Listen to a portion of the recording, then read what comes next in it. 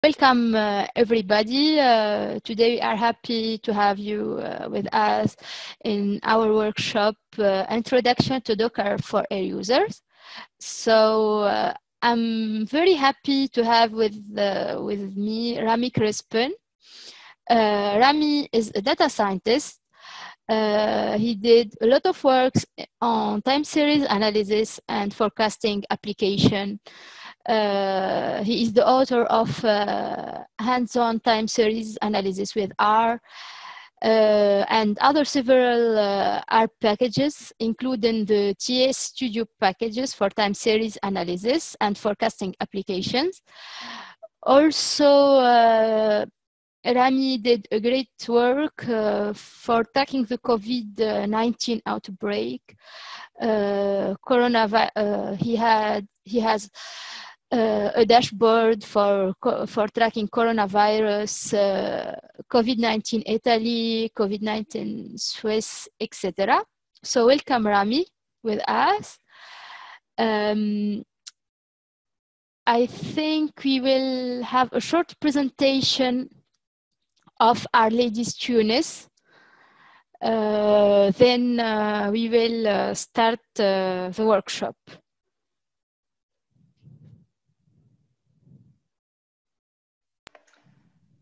So, Hedja, if you yeah, so Hedja, can, uh, can you screen? please share your screen?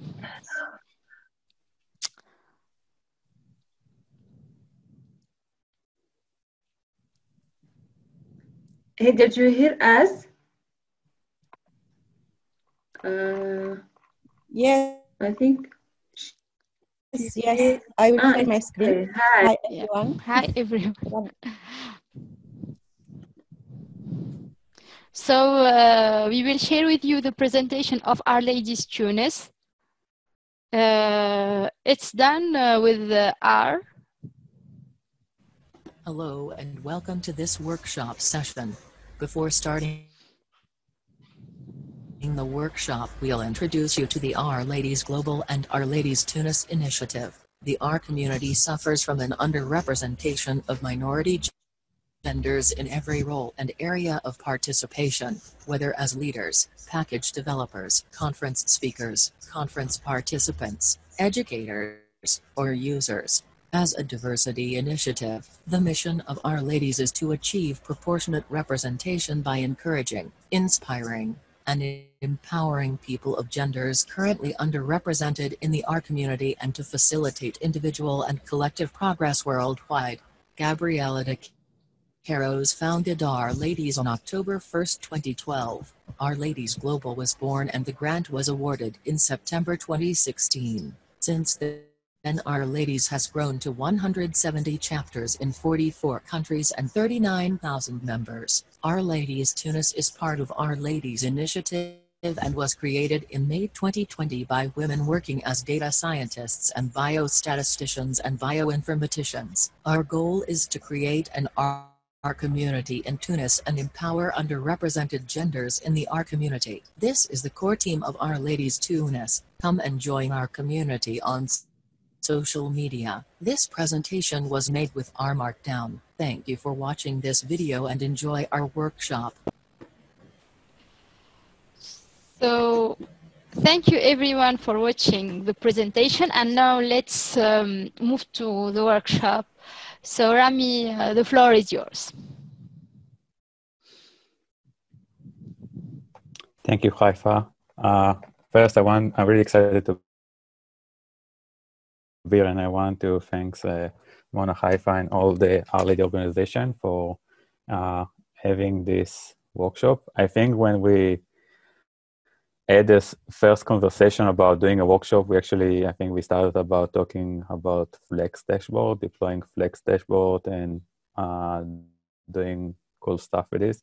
But then when we started to talk about it, like uh, the prerequisite to deploying um, on the web Flex dashboard or anything similar is Docker. And then we kind of like got into this topic. Uh, so uh, I assume that most of people here never used Docker, so I'm aiming to have it really introductory. And like after the workshop, you probably won't be expert in building Dockers, but I think it will give you a sense why you should start using Docker and what are the advantage of using it. Uh, and maybe you will continue to go and deep in your um, understanding about how Docker works and what you can do with it. So let me start with sharing my screen.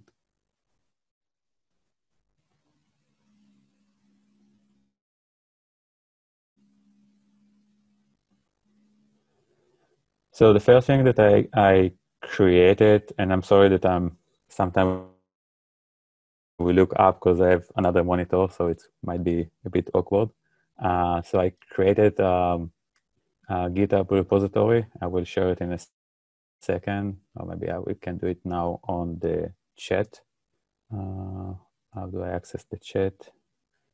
I will I will try to do it in a second, but uh, all the materials that we'll cover here are available on this. Uh, here, I got it.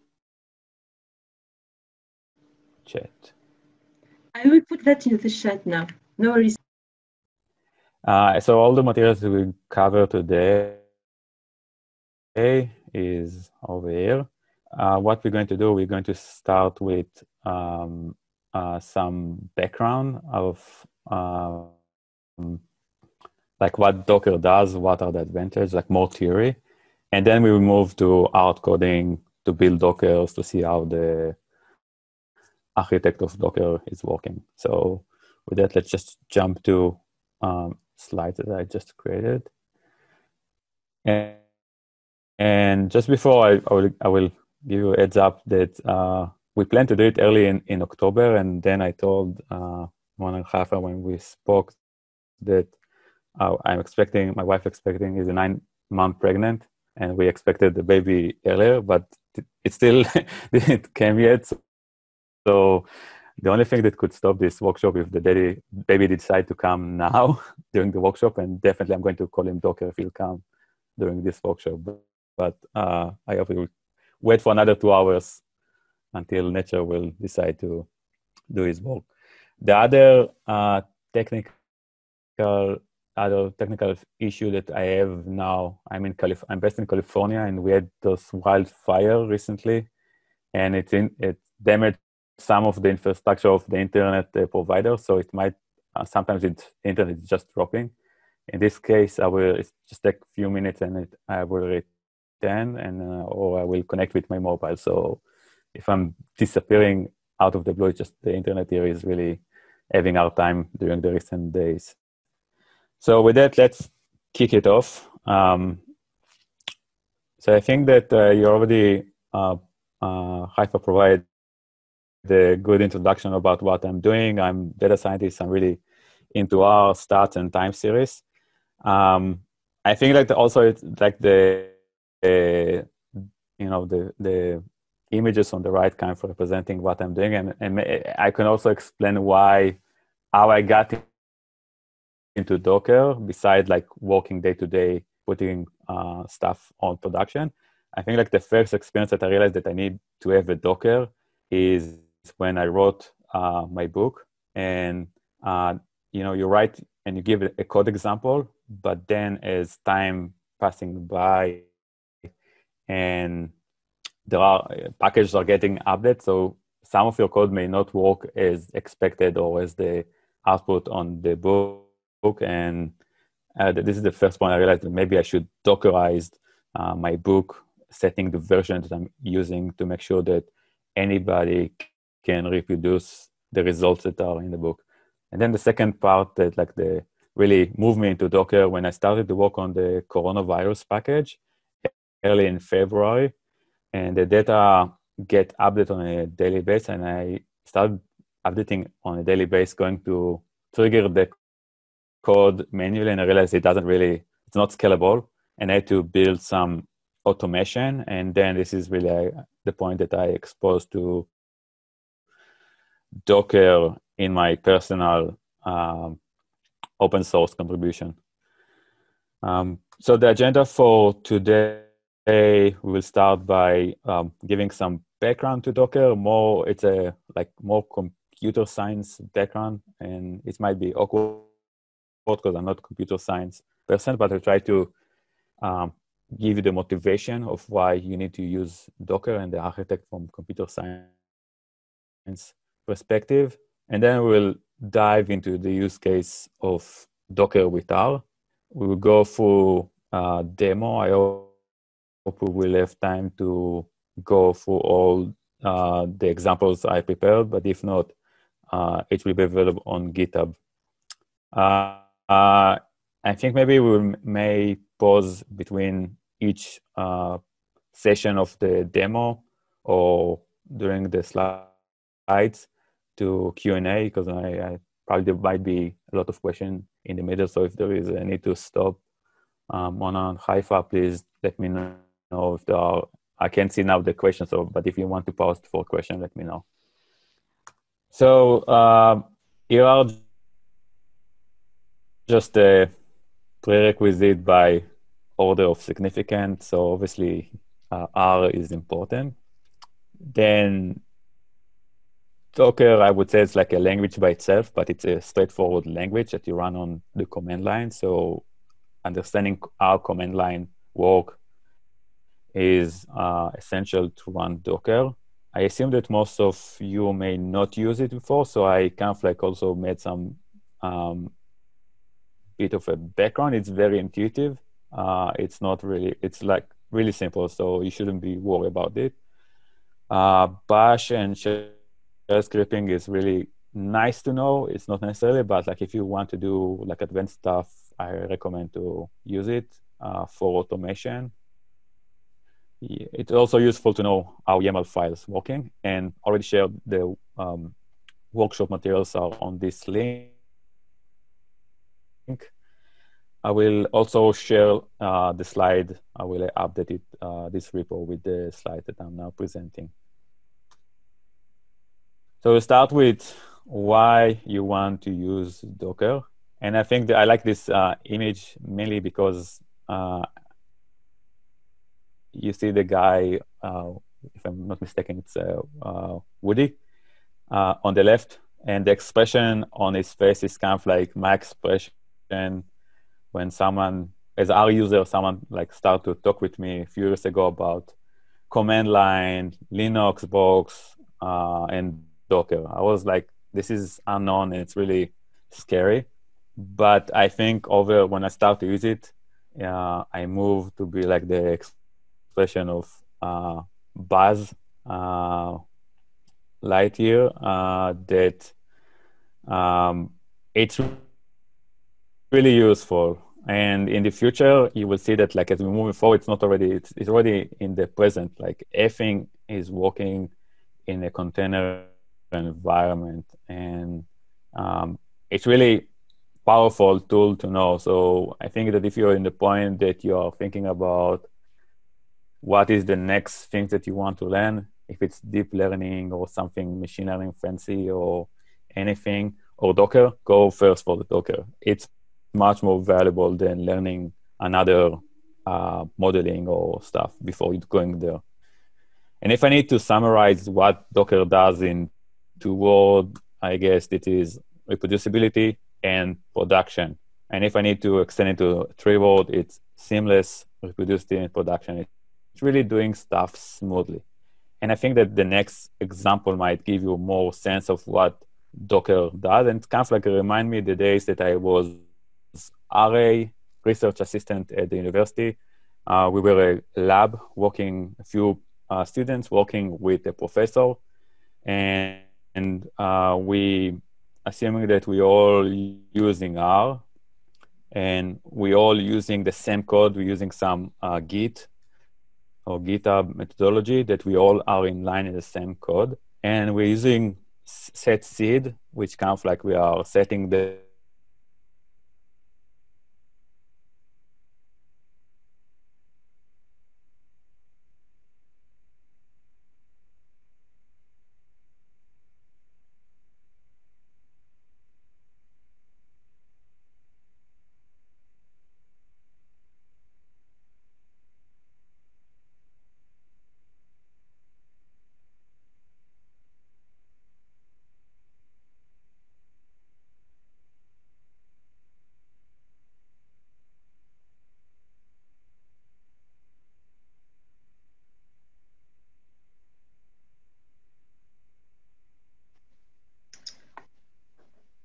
So I think uh, Rami had the problem with his connection. Will you?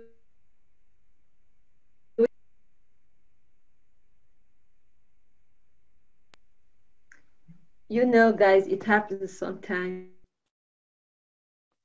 Yes, I think uh, he lost the, co the, the connection with. Uh...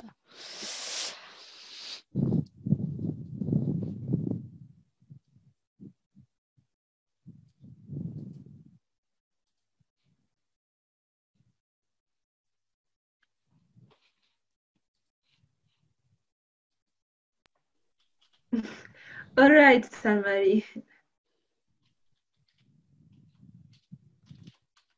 Yeah, did I? I assume that my internet dropped. It's no, okay. it's okay. No worries. so it not- happens. So I'm not sure which part you lost me. I was talking to myself. Um, so now I'm connecting with my mobile, so I hope it will Yeah, If not, I will go back to the normal internet. But let's let's continue. I'm sorry, it might happen again. Uh, uh, we're just having our time with the internet. So I assume that I paused on the reproducibility example. So like I will repeat it, just assuming that you are working in a lab and it's not necessarily need to be a lab, you are working in a group um, and uh, you have, uh, you're collaborating with uh, some code environment and you have a student, you're running the same code. Essentially, you're all using R, you're all uh, using it and you're all, you're using setseed. Now, uh, all of you running the same code and each one getting a different value. And when your your professor might get get error, and the reason could be many reasons, but essentially it starts with the R version that you're using. If each one using different version, you may get different results. And for example, if you know that there were major changes in version four and forward that will not uh, exist in version 3. Like uh, if you're running data frame, the default option of data frame change. So that could cause some difference in the way that you are, uh, if four people running the same code with different version, uh, getting different output. Also, more important is the underlying version of the package that you're using. So if you're using different version of uh, dplyr or tidyr. So you may pre-processing your data differently, at least the output, although you're running the same code.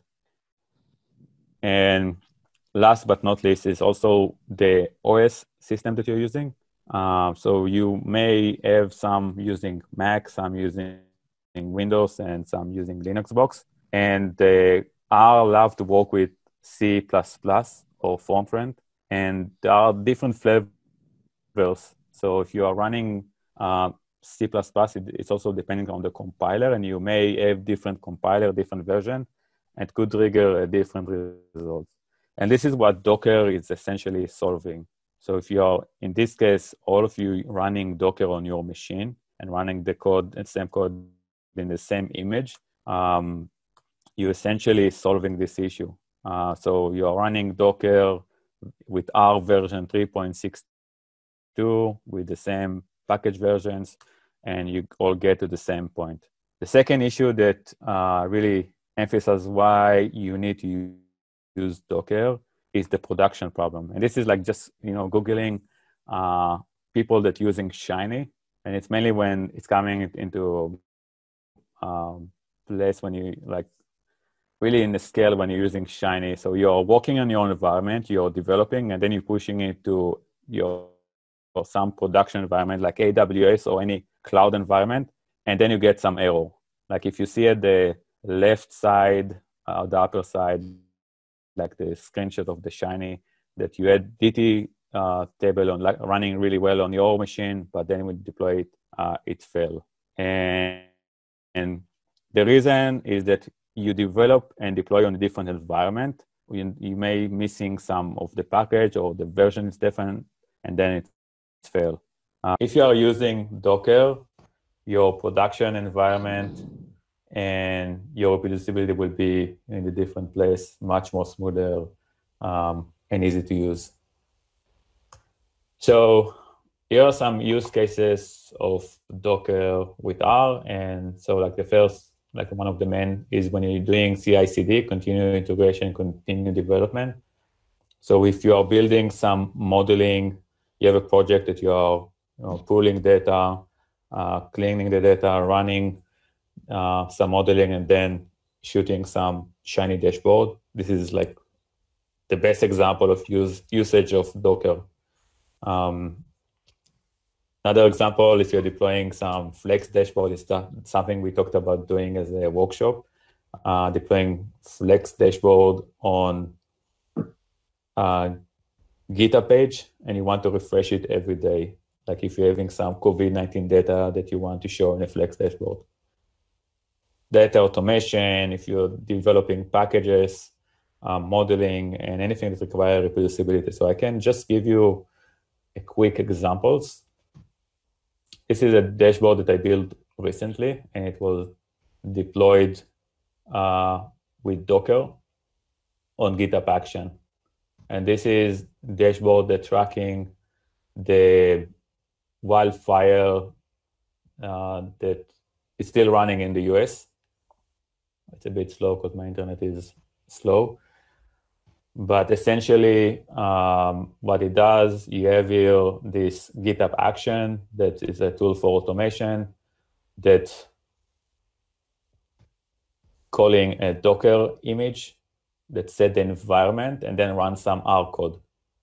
So essentially, uh, this is the image, and then uh, you run some bash code that triggers some R code, and you get this dashboard uh, with the file locations and metadata, and it's keep updating every four hours.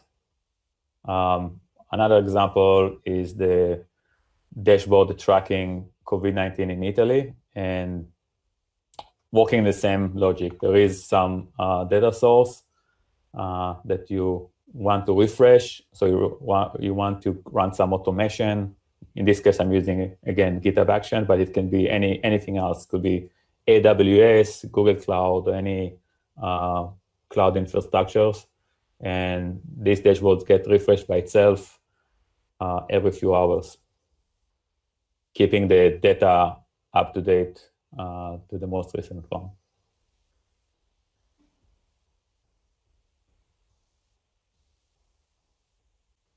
So before we will jump to the use case of of Docker with us, so let's just go over from computer science um, perspective, what is Docker? So this is um, a platform for OS level virtualization, meaning that you are triggering some OS um, virtual uh, system that runs something. It's not. It's similar to virtual environment, but it's not. There is some distinguish between two, which I'm not going to enter because I'm not really uh, computer science person, but it's much more efficient. And the idea is that you can create multiple containers and isolate them. So if one is failing, the rest will still continue to work. And when you have a failure, you just you know rebuild the container and, and put it back.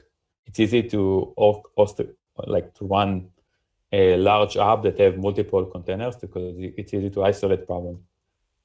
Um, and uh, the idea that you can uh, use different components of software and app.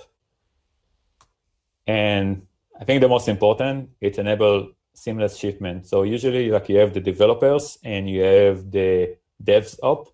And in the past, the developers send the code to the DevOps uh, team with some instruction how to deploy it. And then it always fail because you're missing some components, the version is not right.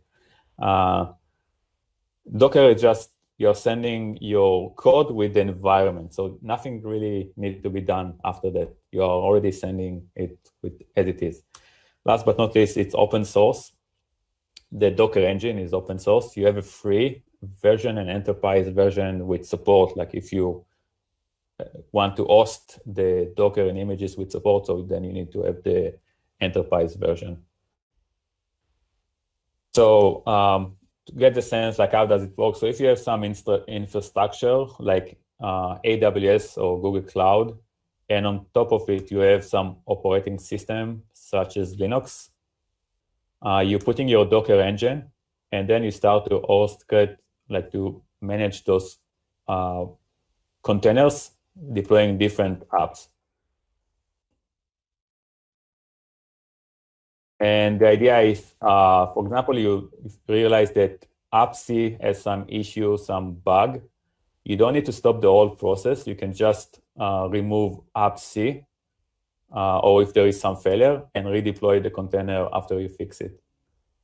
And I guess the best way to describe what it does, like in terms of our world, imagine that you are uh, in the academic world and you're writing a document or you're writing a paper and you send it to review. And usually with the process when you're sending a document to review, you need to send your data and your code, but you don't send the environment. So it could be that they still get a different results and then you need to sort it and figure out why uh, the data that you are using uh, or the output that you, you are sending uh, is different from the one that the uh, person that's checking your uh, article.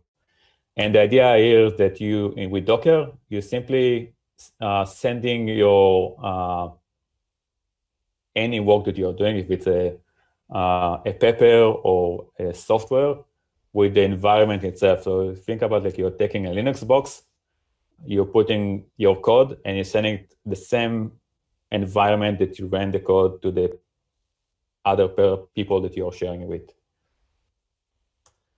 So before we will go to more details about Docker with R, um, so to install Docker, you need uh, on um, on Linux, it can run natively because it's based on Linux. But if you're using Mac or Windows, you need the, the Docker desktop, which is kind of like virtual Linux that's running on top of Mac and Windows that enable you to run it like in Linux. Uh, and let's just go quickly to this. Let's see if I can open it.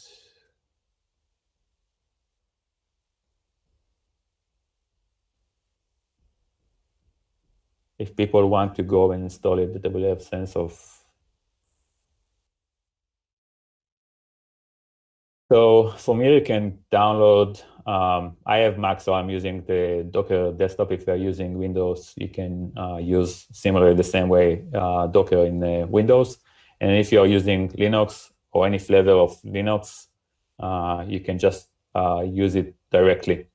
And over here, you can see I have the Docker dashboard, which we can go over uh, once we start to work with the Dockers on, on the demo, but this is essentially enable you to run the images uh, itself.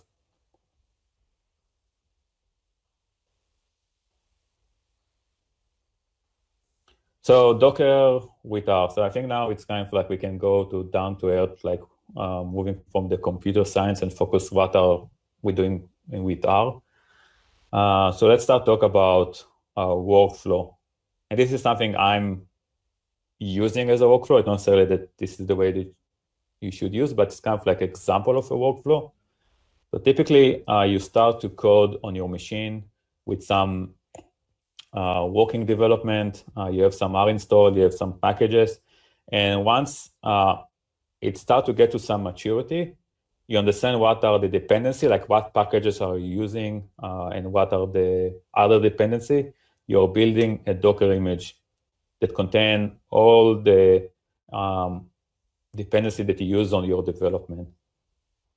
And then uh, once you build the Docker image, the next step is to uh, create a testing environment, which essentially is just taking the container and, and put it another container with RStudio. So now you can run the code inside RStudio environment, but you're in a Docker and anything that run in this environment will work on the deployment, assuming that you deploy it in, in with Docker. And the last step is once you you kind of like make sure that your build of your base Docker is done properly, that everything is working. You finish the testing, and you send it to um, the your deployment, like some cloud environment or GitHub Action or any automation tool. A more uh, robust way to do it is with um, with like a one step that you are already starting when your product is much more mature with uh, Docker environment with RStudio and you start your development uh, already with inside the Docker that you're mounting your hardware, your machine to the Docker. So anything that you're changing in your Docker will also write back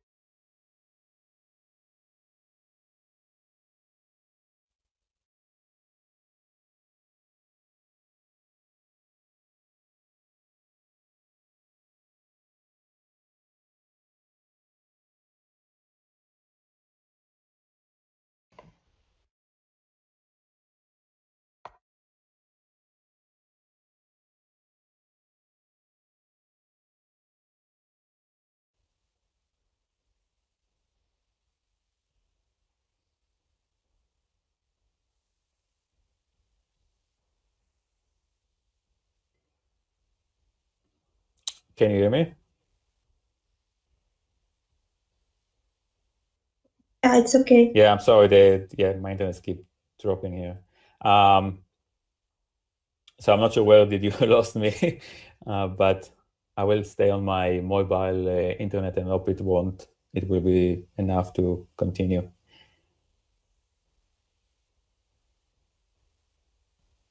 So let's talk about how you build a Docker in R. So anything that you start in uh, Docker, you are starting with some image. You need to pull some image, and the lower level is the OS system. So let's say that you are starting with Ubuntu. Ubuntu is, is a, a Linux flavor OS system, which running on top of uh, on Linux. And then you start to install anything, everything from scratch. So you need to think about it. You're buying a new Linux box out like empty, nothing was installed, and you need to install anything from scratch, assuming that you're starting from scratch to build your Docker. So before you can install R, you need to install the compiler that required to run R. So you need to have like some compiler for C and C++ and Fortran and so on. And then you can install, let's say, R version 4 and you create a Docker that it's only functionality that it has uh, R version 4. And you can tag it, let's say we tag it base R4. Now um, you want to build another Docker uh, with packages. So you don't need to start from scratch. You can take the Docker that you built before, the image that you built before, and you know start from uh, base R4 and you pull this uh, image and build the new image on top of it.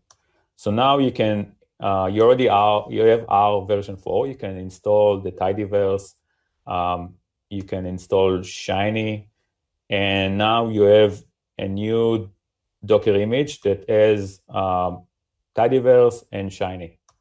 So we call it we tag it as tidyverse 4. Now, let's say that you want to add an additional functionality.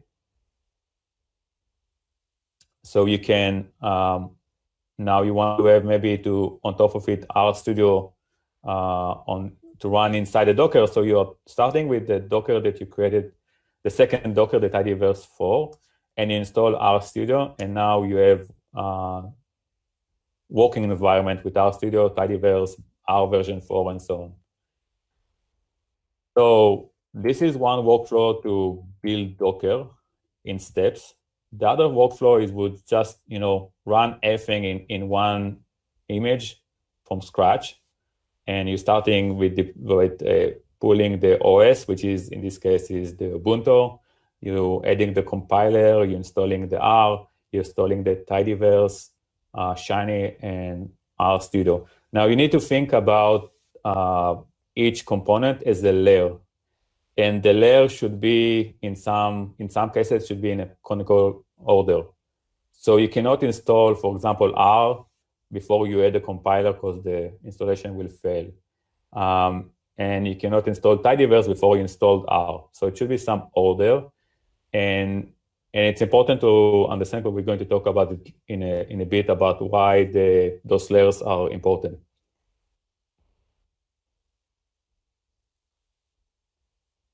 So let's say now that you want to update your Docker and you want to uh, upgrade the R version to uh, version 4, let's say 402. So you can run the same Docker build.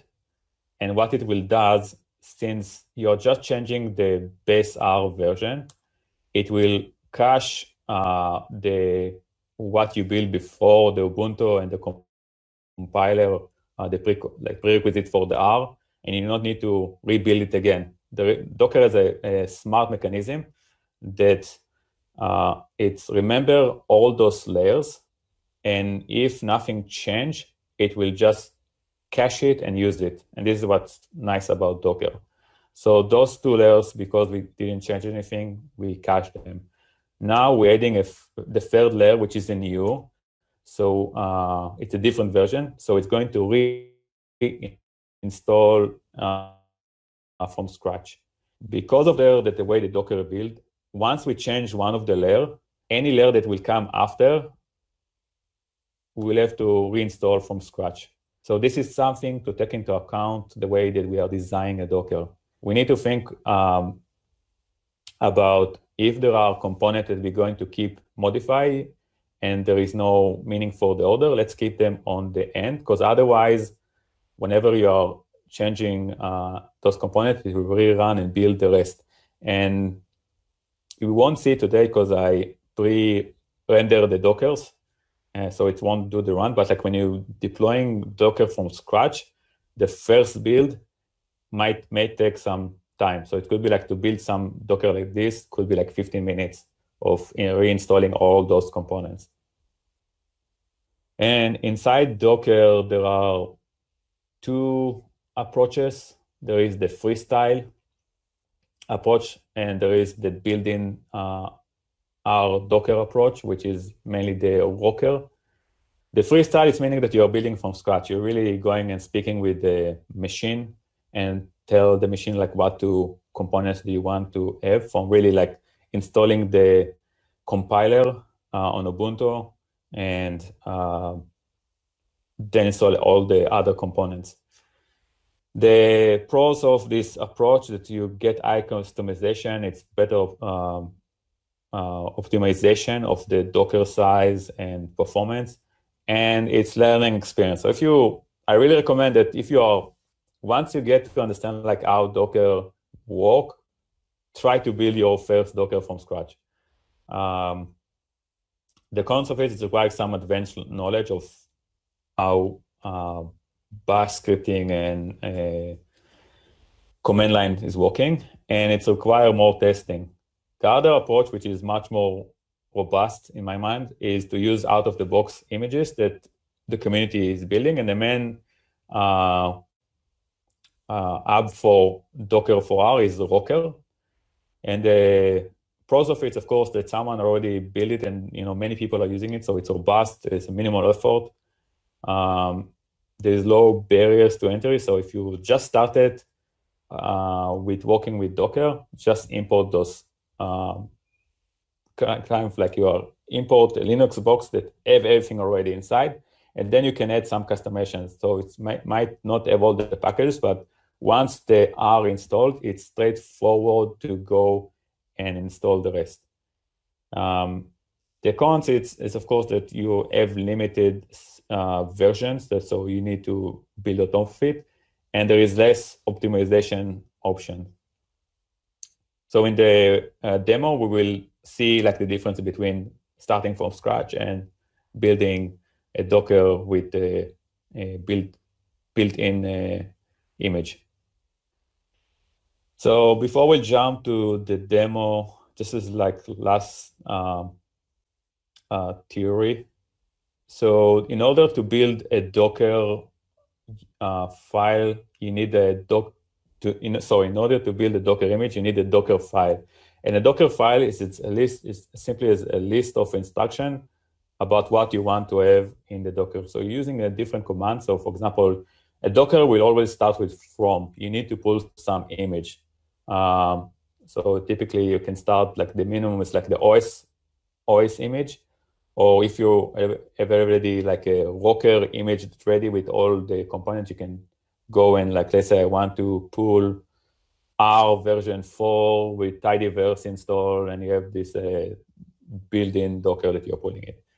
Uh, there are other commands like the label, um, run. So whenever you want to run something on the command line and everything is done with the run, so use it. You want to copy from your local folder to the Docker, so use the copy. And you have the env and the CMD that we will talk later in the example. So I won't um, go over it now.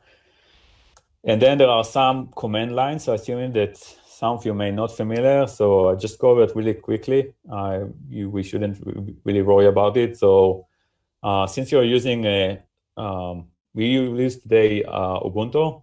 So sudo is the main uh, command to install uh, stuff inside uh, Ubuntu from the command line. So it just stands for super user do. It's equivalent if you're working with Python to the pip. If you want to install packages in, in Python, you do pip install and then your package. So it's work the same way. We have the wget. So if you want to install something from the web, you have a some link and you want to pull some image. Let's say you want to download the R uh, version, RStudio version from the RStudio repository. So you just need to use the webget. Uh, curl work the same as webget. Uh, if you want to run R script on the command line, so you use the R script command and then like specify the command. And Bash is a Unix shell command language, which is helping us to, if you want to run multiple uh, R script, it's sometimes easy to use a Bash script that you automate the process if it's running on the command line. So with that, I think we can move to the demo. I will pause and see if there are any questions.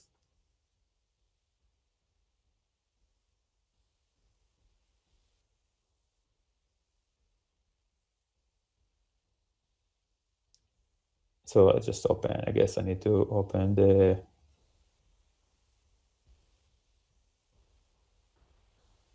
Um,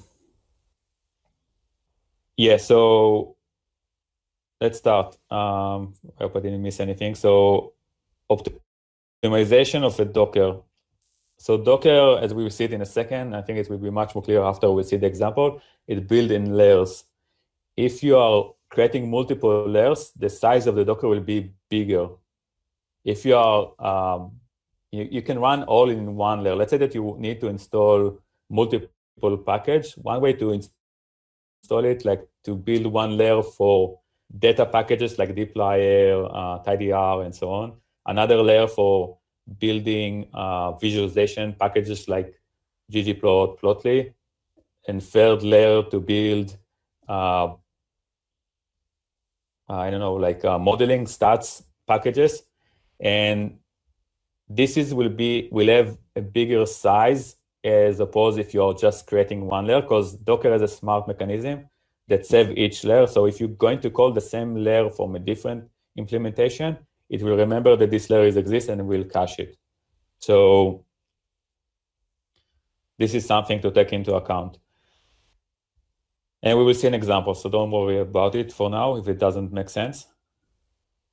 And yes, so and this is what's great about the R Docker. So the question is for a built-in Docker, can we make uh, some upgrades? So for some layers, and yes, you can add additional layers. You cannot change the existing layers, but you can add additional layers. So if you're pulling, let's see, example.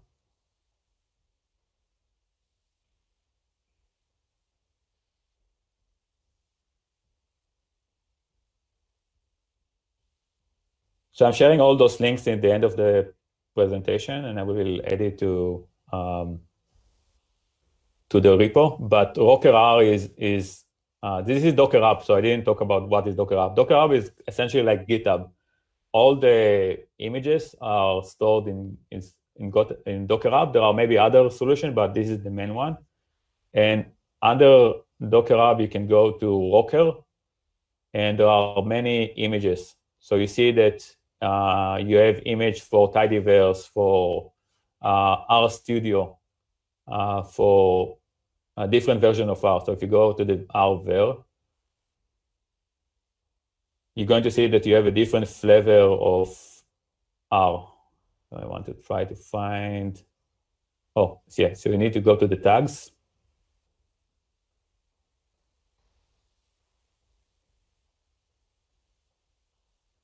Here you see you have version 4 with Ubuntu. Here you have version 4.1 and version 4 with CUDA, which is another flavor of uh, Linux.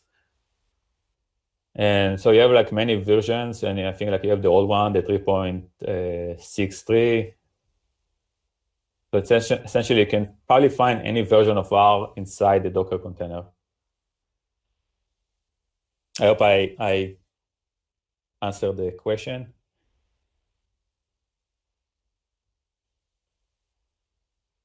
I'm going to, okay, so given we fix the environment, can we create a file route available to upgrade where several apps can be added and they run through that environment without rebuild? Yes.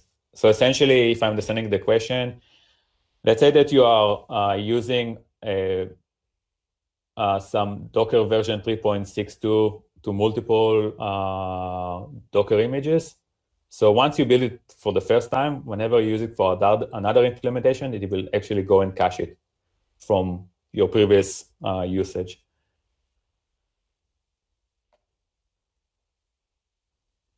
Uh, yeah, the so the question here is about the container R. I think I saw it in the past. I I didn't use it, but I think the idea is that you can automate shell command to create Dockers. But uh, I never use it, so I, I don't want to mislead anyone.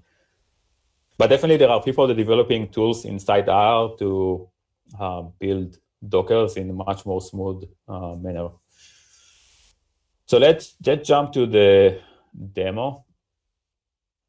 I will use my, so I will use two, two screens. So first, this is my R environment. Um, maybe I should increase the font and this is the terminal. Um, so when you work with Docker, you usually use both. Um, any commands that you need to run to call Docker is typically can it can done either from the terminal or from the um, Docker dashboard. I will use here the terminal, and then I will, will show the equivalent from the Docker uh, dashboard. Uh, Rami, sorry. Uh, the terminal, uh, can you make it bigger? Yeah, definitely. Let me see. So I have a white screen. So is this size? Can you see it? Wait. Now it's better? Yes. And then maybe I should have also here. And, and anything that's available on uh, this, um, so this is the repository that I shared on, on uh, my GitHub. Uh, so anything that's available here, you can also go and see directly on the um, repository in, in GitHub. It's sync, sync with the most recent one.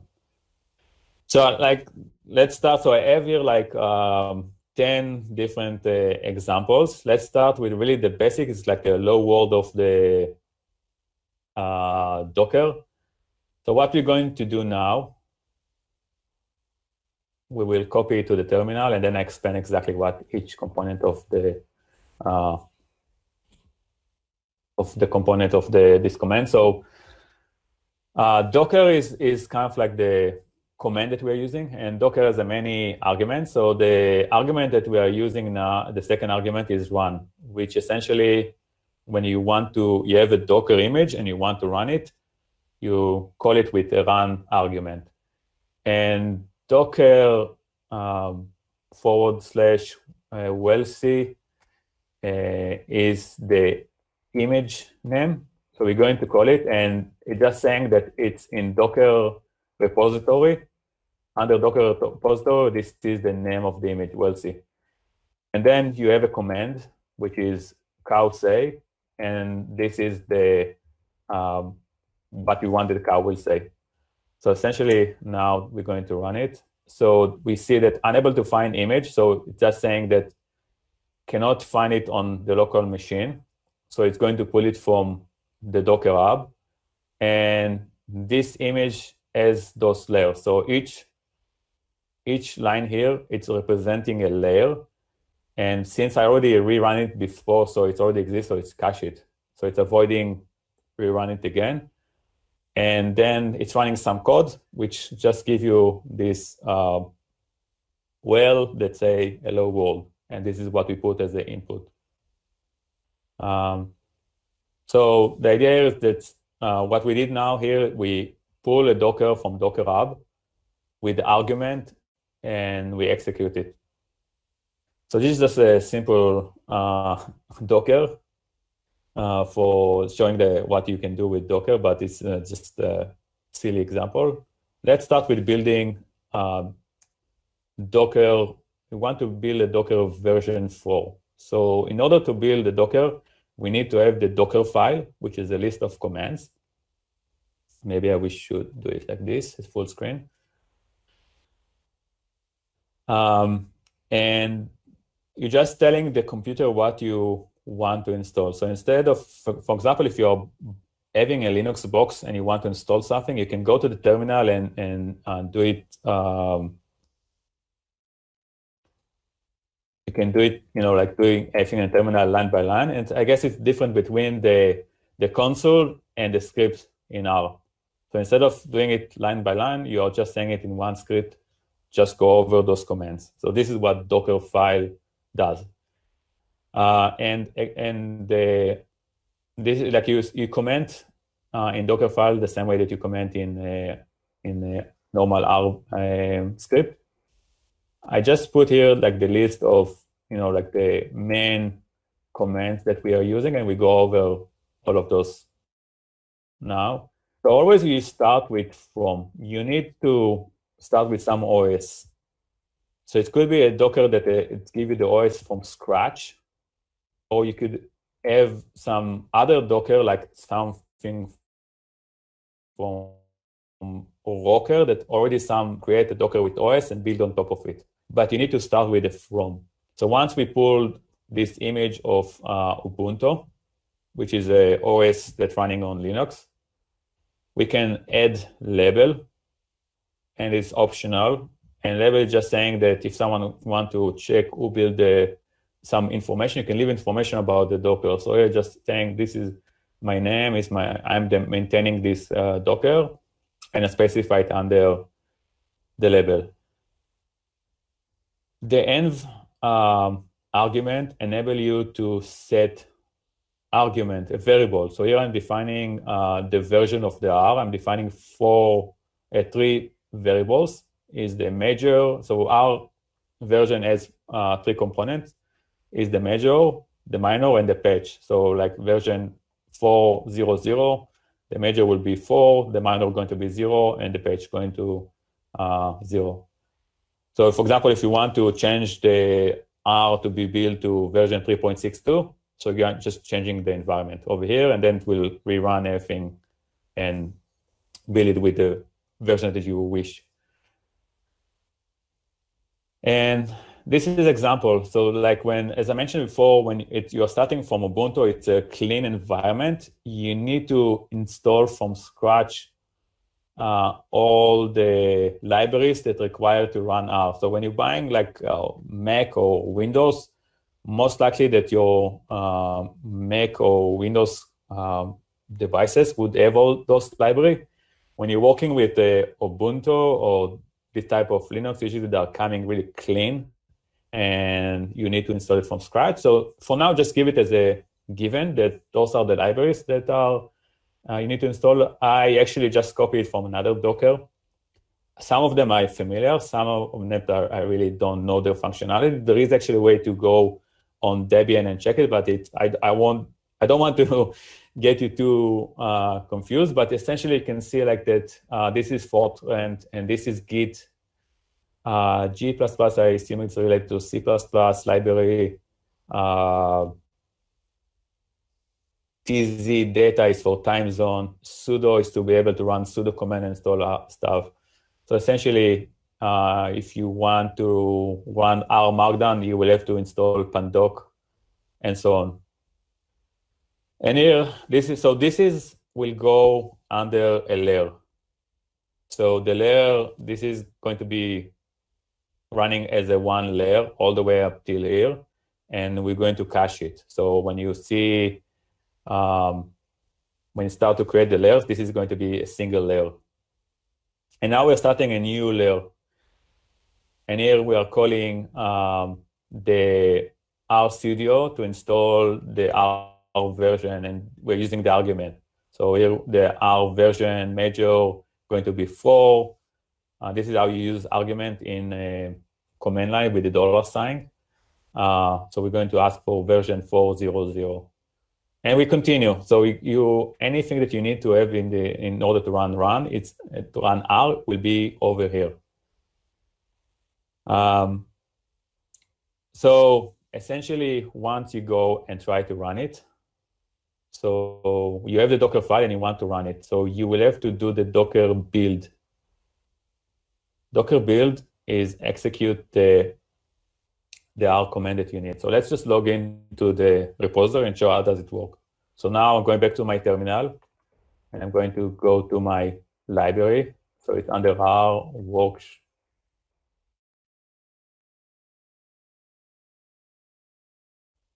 workshop uh, ladies, Tunis, and session one. So you see here I have uh, a Docker file and the README, which is over here. And now I want to run the Docker file. So I need to run call Docker and use the build argument. I will use the dot, which is saying that use any file inside the root folder are instead of specifying all the path. And then I want to call to use the tag. So I want to give a name for this image that I'm going to build.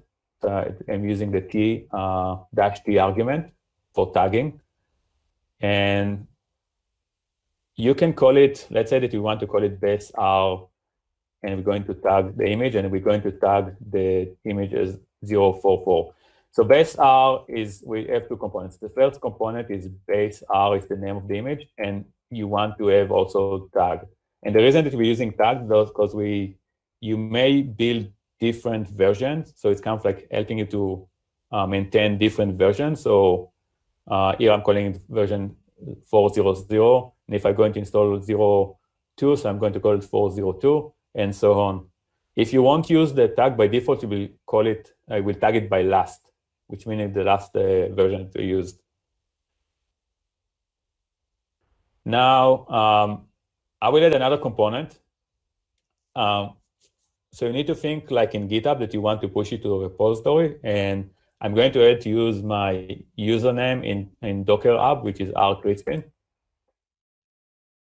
And you just tag it as, as like this when as, as the Docker name is rkrispin dash uh, and the name of the image, that when I want to push it to the uh, Docker hub, I won't need to retag it. So just for convenient reason.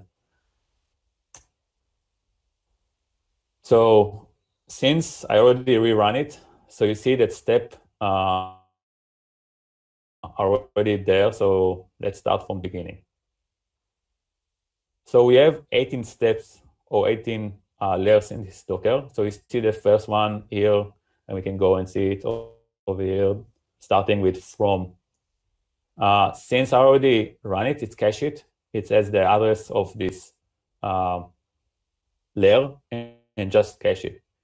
If we were to build were to build it from scratch, it would probably take us half hour to run of it, all of it. So you see, it's using the cache, and so on. So any any layer. So this is the uh, label. It's another layer, and then the uh, the environment definition. Each one is a layer, and it's keep caching all of it because we didn't change anything.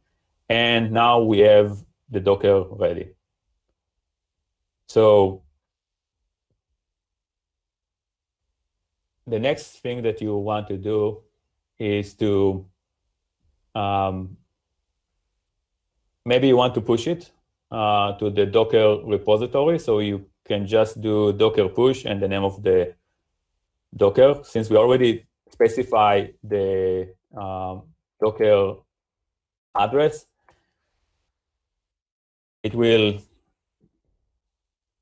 it will automatically will uh, push it to uh, the Docker hub. And since there were no any, I didn't change anything in the Docker layer, so it see that nothing changed. So it's just uh, doing nothing. And you can go now to the Docker hub and see if I have it here.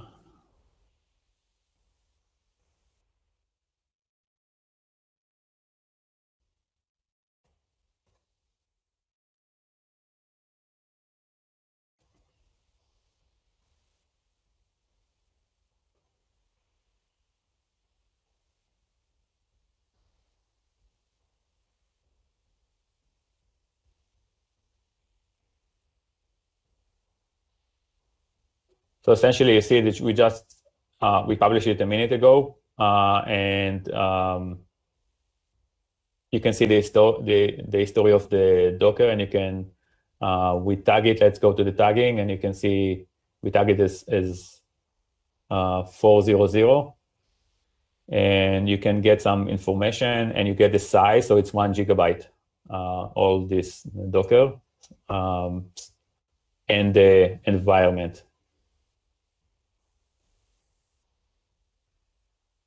Now, if you want to, anyone can go and pull it. So if you're doing Docker uh, pull and the name of the Docker, you can actually use it to create your own Docker and you don't need to build R version 4 if you're interested in R version 4. So the other component that you want to maybe to access the Docker and see the environment. So uh, as use it as a virtual environment so you can you can go and do Docker run, and the run is the argument to run the Docker. Um, we specify T and D. So T is enable us to open it in a terminal, and D is to um, print the, on the background the details. So you see, this is the container. So I didn't I didn't mention before, but there is in Docker the, there is container and there is image. Image is what we created before. Once you run it, it's containerized it and it's now living in a container. So now we can go and access the Docker on the container and just make sure that we can see what's going on inside of the Docker.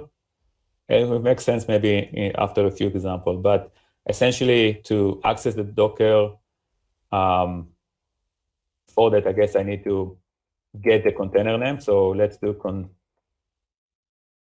container yes, and it's give me the container, the, the list of containers that's running. Uh, let's see. So let's access uh, this one. So Docker container PS uh, give you the information of all the containers that you have running at the at, at the moment. And I will take the name of the container, and you see this is the beginning of the same beginning of the this is the full name, and I'm just using the beginning. Um, I will copy it, and then I'm doing going to do Docker execute uh, IT, so it's in terminal, the container ID, and we want to have it in, open it in bash, in shell. So now you see I, I'm in new environment uh, and you can see that I can call R.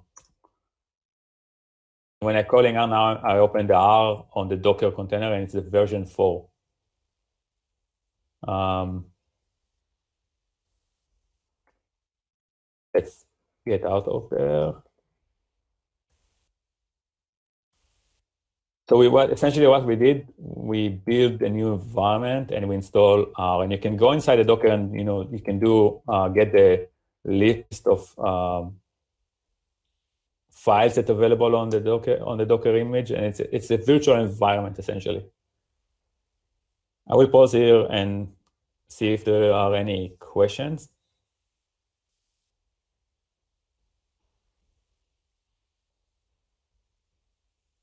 Uh, yes, Rami. So, uh, there are questions uh, from Ali. So he said uh, one more question. Uh, so I think, yeah. Um, one more question. I saw some R package called container. It can it uh, automate shell commands creation and the, also he said you spoke you spoke about setting up uh, the OS and we know uh, Docker is running mainly on Linux but what if we were supposed to work on Windows, such is uh, the case for most co companies? How can we say that? Yeah, so um, essentially, I, am I'm, I'm working on Mac, and Mac is equivalent in that, that sense to Windows. So I'm running it Docker uh, uh, on Mac, and in order to run it on, on Mac, I need to have the Docker engine, which is this this part.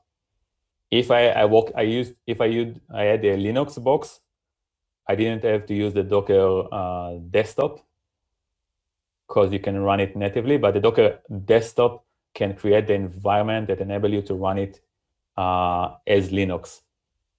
Essentially, it's create a virtual Linux that enable you to run Docker within um, Mac, and it's work the same in same manner in Windows. So you can use it in Windows. Uh, and the idea that you're usually like the use case is when you are you are using uh, some OS like Windows or Mac, but your deployment is running in some Linux box or some server, or you're deploying to AWS, and those usually using some kind of Linux. I hope I answer this question.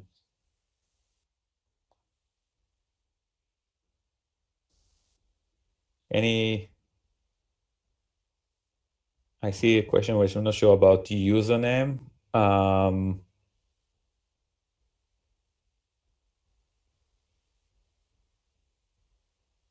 yeah, so why there are three containers are, so I see like a question, I guess, let's go outside from the Docker. So let me do exit. I'm going, I went back to my uh, terminal. So let's do Docker container, list of the containers. And someone asked why I have three um, different containers. And the reason that I already, before we started the, uh, the workshop, I test it and I run it and I build it. So each time that I build it, they're still running. So Docker PS give you what is currently running. And if you want to stop it, you can do Docker um, kill. It's a bit uh, tough, really hard. Uh, not sure why they use this word, but and the container name. And now you can go and see. You see, I have only two. Uh, and then, like similarly, you can you can you know like keep deleting. So... Next one.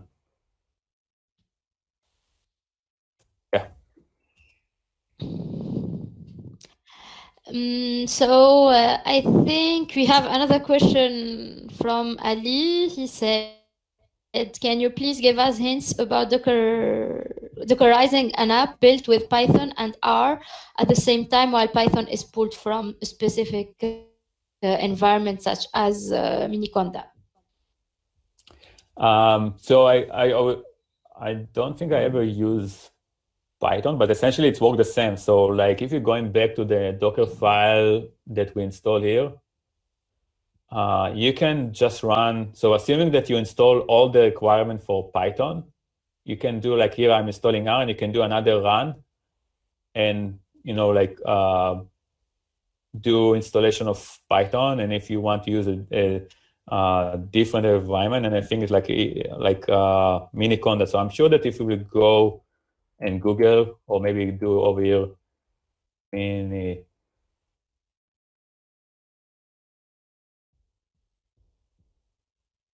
you're going to have a Docker already with Miniconda.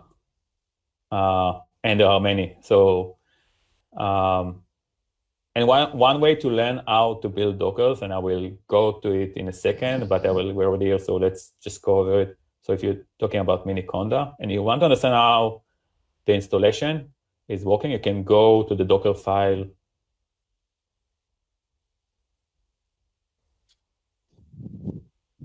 and see the process. So you see it works the same way that I installed the R with the wget and you're pulling it from Miniconda and you specify some version and all the requirement and that's it. It's really straightforward. So you're starting, you here uh, they're using Debian and then they're defining some environment variables and they're installing uh, requirements. So I guess those are the requirement that needed to run Miniconda. And that's it. It is. It's really, I think it's very intimidating if you didn't work on the tunnel, but it's really straightforward once you understand the concept of how does it work. I hope I I answer. Okay, cool. So let's go to the next example. So this is this is like just basic example. Like I just want to give you a sense of how you're building uh, our environment.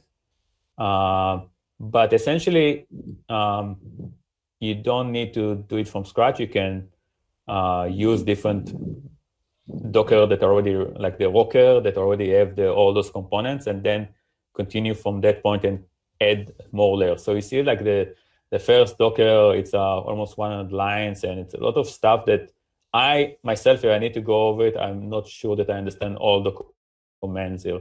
Uh, so I'm I'm sure that like someone that never used the command lines might be intimidating, but like let's simplify it. So assuming that you already create, you have an image of R, and those like you have many beside the Rocker, there are other people that creating their own image and you can go and pull the R version. So let's start now when we want to install tidyverse. So here we're going to pull the Docker that I already created. And as you see, it's, it's much more clean, cleaner um, installation. You have only three lines of codes. So you start with the, the Docker that already has the prerequisite to install our packages. And um, we're pulling this. It's already coming on Ubuntu with our install.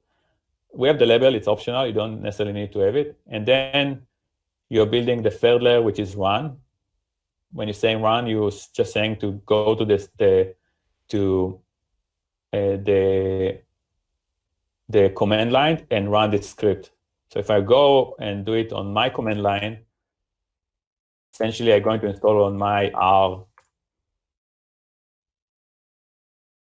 I'm getting an error, and I will speak about error in a second. But um, uh, essentially, that's how you build uh, install packages. So you're calling R. This is the way that you call R from the terminal, and you want to execute something. So you do the dash E, and this is the command. So this is like when you put it in in double quotes essentially you are in R. And this is the familiar, like how we install packages, so install package and the name of the package. So it could be any package that you want. Uh, so let's let's let's go to the second example and, and run it and see what's going to happen, and then just give you answer it's going to fail. Oh, it's still two. Oops.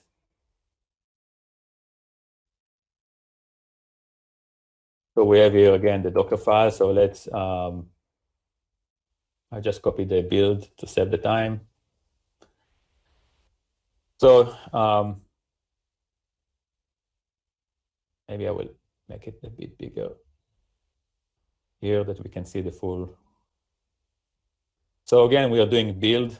Uh, we want to tag it, and I'm going now to tag it as last because we're installing the most recent version of tidyverse. Um, and let's see what's going to happen. So it starts with the, the first um, layer that already exists. So it's caching it from, we already built this Docker. This is also a, it's used from another, from the previous Docker probably that already used it. So it's cache it. And now it's, it's getting, it's, it's running uh, this command and it's running on the uh, terminal and you get this error. And you see that uh, trying to use CRAN without setting mirror. And and the reason I put it and, and I want to show you like why we're getting this error. And and this is like a typical Docker error that you will face uh, that essentially you're starting from scratch. And when you're used to work on your R, there is the R environment uh, uh, file that's setting all the mirrors.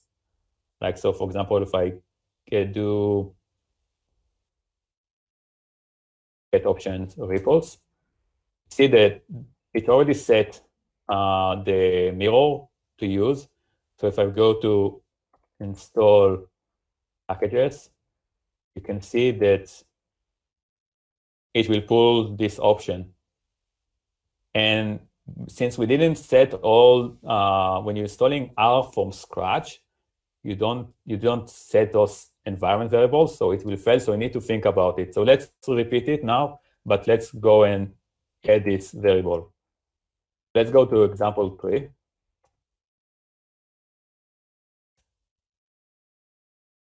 Close all of those.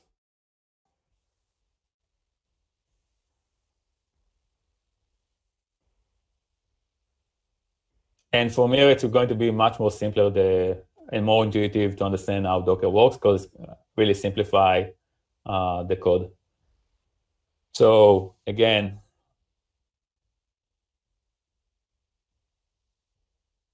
um, what I had, I just defined the repo.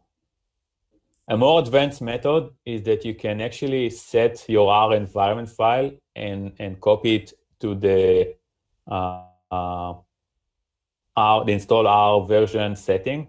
So you can pre-customize uh, your favorite setting. So for example, uh, your mirror and other uh, variables already set in your machine and make sure that you're working in the same environment. So if we're give an example like what you probably can do, if you go to global options, you have code, I'm using snippets. It's like really wonderful tools to save time. So I have those shortcuts that enable me to uh, run shortcuts. So for example, um, one of my favorite is like uh, DG, which is creating dplyr group by and summarize. I can show you how does it work.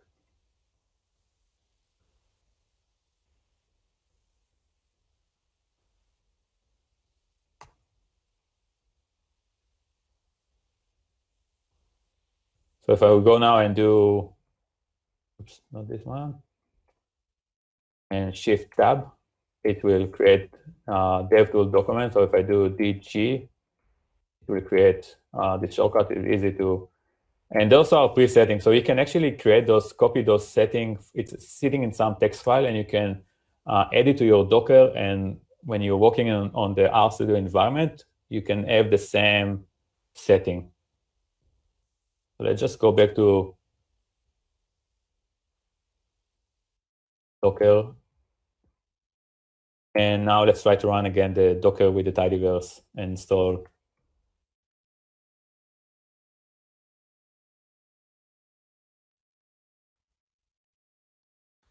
So now we, uh, because I already ran it before to save the time, it's pre-cache it. And uh, we have the it's installed. it. Now you want to make sure that you have uh, installed and everything is working. So let's do again uh, Docker, let's get the container name. So Docker container PS, and we have, oh, we need first to run it. So let's do Docker run, and it is tidyverse. And let's get the container. So you see now I have two containers. Um, I will take the ID and let's log to the terminal to SSH the container, essentially.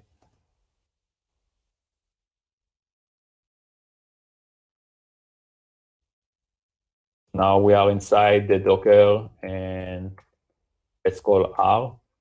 So we the same version, right? We have version R. And sorry, I'm just cannot seeing my screen. Docker, uh, Docker uh, package version ID and we have installed. All right. Um, and this is kind of like leading me to the next topic is the version of the packages.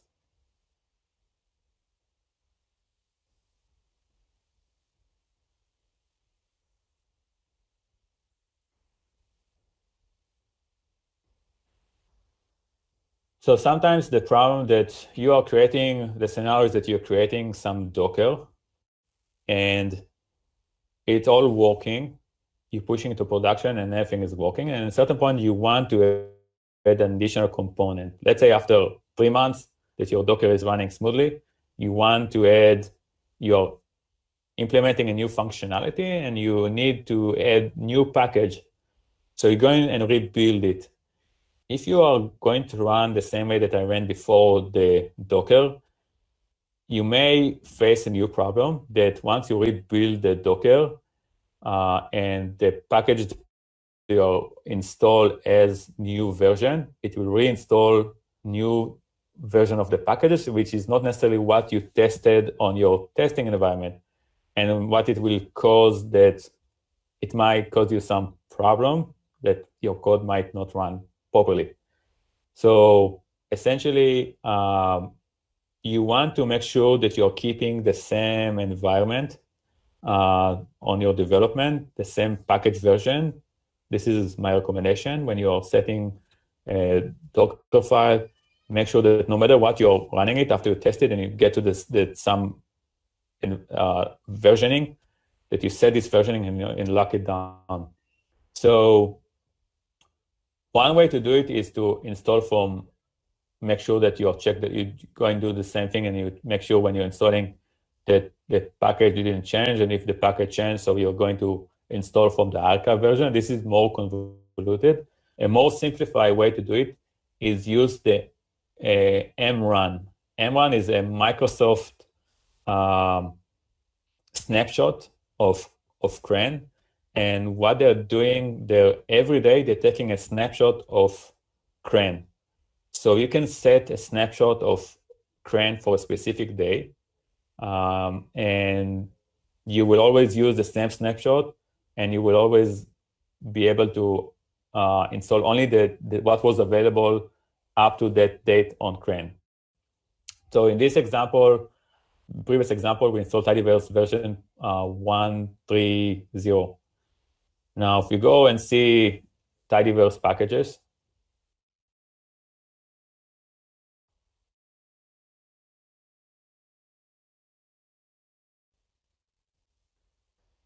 this is the most recent one, uh, and it was released on November 21st, uh, 2019. Let's assume that you want the previous version, uh, which I think it was uh, 1.2 1.21. Um, so essentially, you need to set the MRAN mirror to be uh, after November 17 and before November 19. Um, so let's go and see how we are going to do it.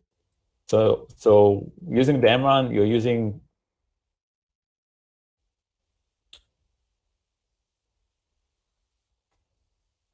So essentially, you're changing the repo from what we used before, which was uh, the normal CRAN RStudio mirror, to MRAN. And the last part of MRAN is the snapshot date. So here we are setting uh, the repo, the snapshot to November 1st to ensure that we install uh, the version that we want. And essentially, if you are going to install any package using this uh, um, repo, it will only install if it was available at that time. So you need to make sure that if it's a new package and you set it before it was released, you won't be able to install it. But let's let's now test this uh, build. Let's go back to the terminal. So quit our sit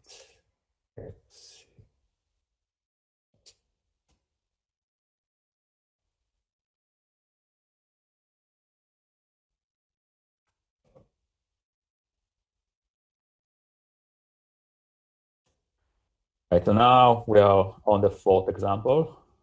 Let's do docker run, and let's call it it as MRAN. We're going now to run this, essentially this Docker file with a snapshot of November 11.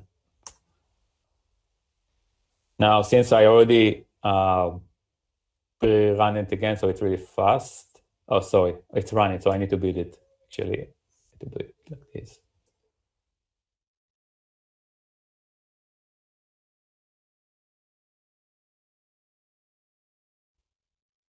And again, you see um, it's caching the layers. Oh, here, I know why it didn't cache. So now you see how it's installed and you see how it's downloaded all the requirement for tidyverse. It might take some time, so let me just to avoid the and this is what taking, like in, in the first time that you're running a Docker, it might take some time. Uh, so let's open a new terminal over here while this is, is running and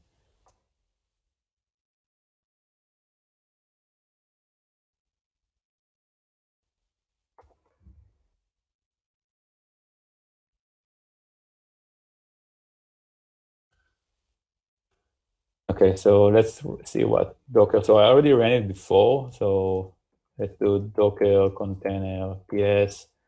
And we want to run and access this Docker, the MRAN. So let's do Docker execute and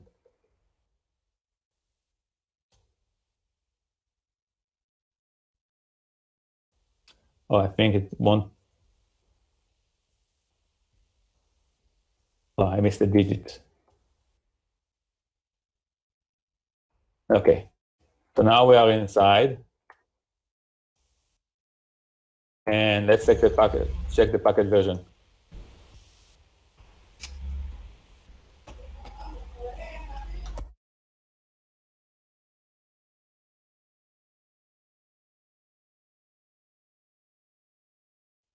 And now we see we have version 1.1.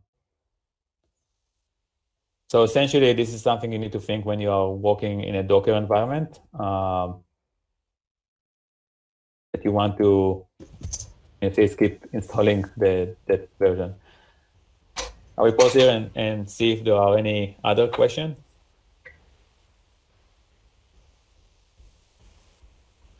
Can someone? Yeah.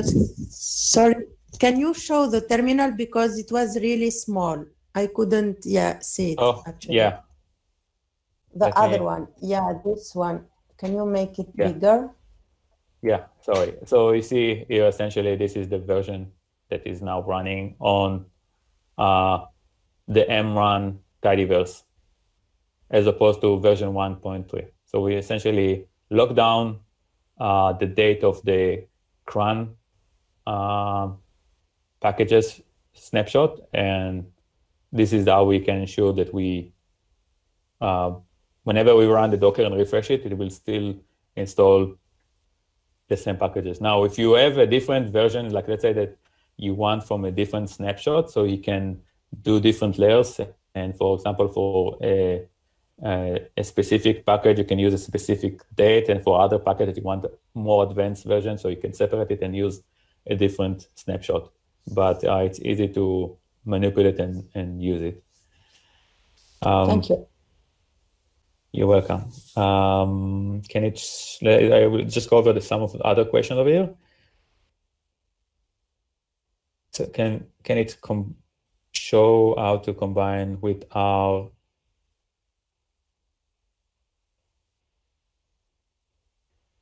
So I, I don't have an example with R environment. Maybe I can find like some example in a second in in a, uh, in the Docker R. But if not, I can definitely can create a, a code example or how you set your R environment. I think it's important. Yeah, it's a good question and it's important uh, things to to be able to set environment. So definitely I will I will add it to the as additional um, part for the workshop. Can you recommend uh, a link as a resource to manage uh, different outputs from different Dockerized app for Nginx? Nginx. So I'm not familiar. I, I heard about what is Nginx. Probably not pronounce it correctly. Uh, but uh, this is beyond my knowledge, like uh, my usage. I know that people it, eh, using it, but I'm, I'm I don't have knowledge about how to uh, use it. I have a link at the end for a resource from free uh, Code Academy that actually talking about how to use uh, different Dockerized apps through Nginx. I know about this concept, but I'm, I'm, I'm not sure that I feel comfortable to explain how it's work, and it's also I think it might be confusing for people that just start with it. But I definitely will share the link. All right, so I think we are ready for the next um, example. Can we pull out the current requirement out of our text instead of searching in CRAN? You mean, so the question is, can we pull all current requirement from your current environment in R in a text file? Yes. So essentially, let me, yeah, so you can actually, you can write a script. So if you want to set the same version that you're running on your local, uh, I'm, I have, um, I have later an example that you can actually go and check the install versions. Um, but essentially, you can write a script that uh, go and pull the version that you're using, and based on this, it install it. But you need to map it to the date if you're using MRAN. Another way is to install directly from the archive, uh, which is kind of like you're setting uh, the exact environment, like the exact version that you want when you're setting into the uh, archive. The, the the only disadvantage of installing from the archive is that when installing directly from the archive, and I will show the what when I say the archive. So if you go here for the tidyverse archive, and you let's say you want to install directly this file. So essentially, I think the way to do it is to copy this link and then do install packages and we want tidy else and then we set the we I think it's the repos or the source, I'm not sure, but let's see if it will work. Yeah, I think it's working. So uh, essentially the downside of um, this that no it's not. So i think it's the source. But the, if you're using this approach by so, like installing from the archive that it doesn't go through the dependency list. And it means that it, it's not going to install the dependency in, in, in a package like tidyverse. There are tons on, of dependency and then you will have to go install it one by one which is really a manual effort Uh, so unless you are having like writing a script that go and understand what are the discrepancy or the missing uh, dependency and install it from scratch, you it will be very convoluted. So I'm, I'm not really recommended to do it like this. It was a long answer for a short question, but I hope I answered the question. All right, let's keep going.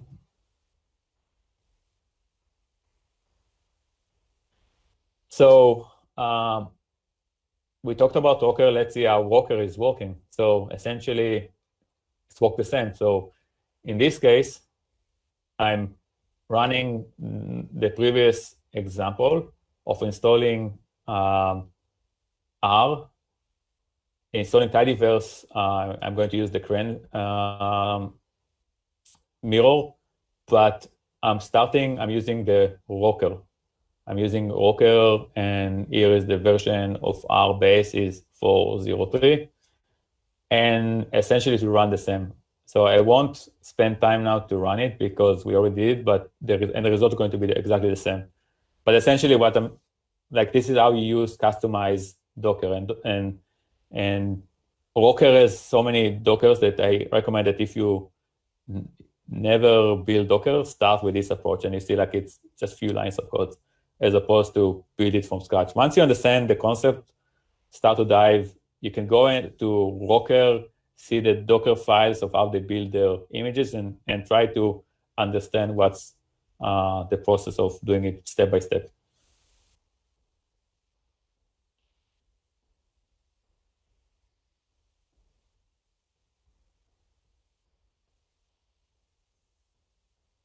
The next example, so we saw like when we want to install one package, uh, and then like if you want to add more packages, essentially we need to put it under C, and we can specify, um, let's say, forecast package and so on, and add additional packages. But it might be um, uh, too convoluted. So another way, it's more robust way to do it, is to, to go and use the install to R uh, command, which is um, go over the documentation. So the the same group that create the Docker R, they're also developing tools to install tools to use to install R packages and anything related to R inside the Docker container. And I'm sorry, my internet is super slow. And essentially, this is so uh, Dirk, uh, uh Dirk uh, Edil Butter, I'm, I'm sorry if I'm not pronouncing correctly, is kind of like the main contributor, is the guy that wrote the R CPP package, which is used, it's probably the package that's used uh, the most in R. He also developing is supporting and developing the uh, Docker R. Um, and essentially, if you want to install, this is equivalent to install uh, R package, but from the terminal as opposed from calling R script. So before we had to call R script, open R, and then run some command in R. Here you can do it directly with the install uh, to.r uh, function from the terminal. Now, there are different arguments. I only use the error, which saying that if it's failed to install, it will trigger an error and kill the, the build. Uh, and then I'm using the backslash to, instead of having all in one line, it's kind of like spacing it, but essentially this is the functionality. And you see here, I am installing in multiple layers. So the first layer is the data packages like Lubridate, uh, Purrr, data table. The second layer is modeling. Uh, this is in this case for time series. And the third layer is visualization tools. And you can do it in one layer. The only thing that you need to think that if you change, let's say now you change the Feeble and you build it in one layer, you have to reinstall all of those from scratch. But once you separate it uh, and you install first this, and then you're doing change over here, anything that was created before does not necessarily need to rebuild from, again, it will cache it.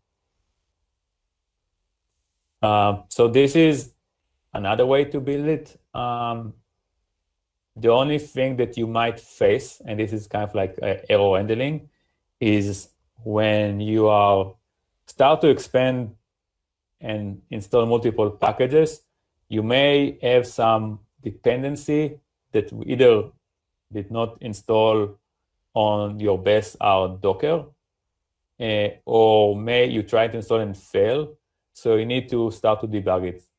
So just be minded that always be minded that you're starting from scratch. It's not necessarily like it's easy to on your machine, either if it's a Mac or Windows. Uh, in most of the cases, they're already coming with all the dependencies, so you don't need to do anything. When you install R, it's there. In in Linux box, it's different. It's really empty box, and we are just populating it. The Docker R, our, uh, should have most of the components, but sometimes there are, like if you have unique packages, you may need to find what is missing and then go and uh, install it from those for the Docker.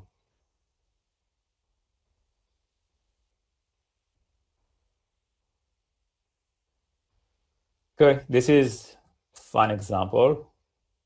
So once you build your Docker and you want to test it in RStudio, so essentially um, you can also add to the Docker and install RStudio and run it on your local browser. And here in this folder, you have the dependency list, um, all the uh, requirement that you need to install um, RStudio, and you, you have like a SH is standing for uh, shell script or bash script, which help you to automate. But um, for your, if you're running and copy it as it is, you just need to run the Docker file and we call all those files.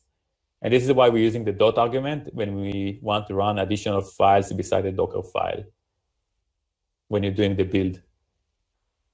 And if you're building a testing environment or working environment, you have a, it's better to create like a Docker with all the packages that you want to run and call it starting from there when you're doing the from command and then install RStudio as opposed to also add to this Docker and install over the, the package. It's much more easy to manage it when it's separate.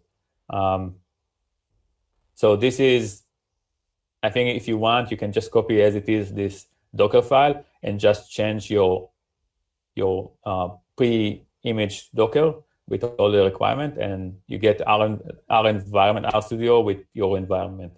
So let's see how does it work. So we will start with building the, the Docker as before. So we'll exit with RStudio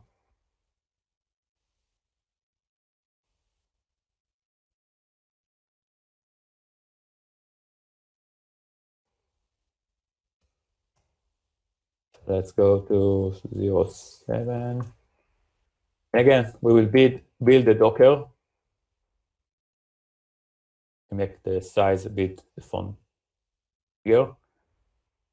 And this time we're going to tag it as RStudio and the name of the packages that we are using. So we are using here the tidyverse image. So just it's just convenient at putting it as a tagging tidyverse. Uh, and we're going to run it. So I already pre, uh, ran it before, so it's caching, it's faster. And now we use this to call it. And here it's, it's where it's become much more fun let's go back to the Docker file. So sometimes you want to expose what you build on your Docker. So when you're building like your Dockerize a Shiny app, you want to expose it to some port. So then you can run it on the browser. So at the end, you see the expose uh, command that's just saying expose this Docker to port 8787. It's a random number. Uh, you can use different number assuming that this port is available. And essentially, um, what we're going to do now is to map this um, port that's available on a Docker to uh, a port on, on my local machine and to run it. So let me just, maybe I will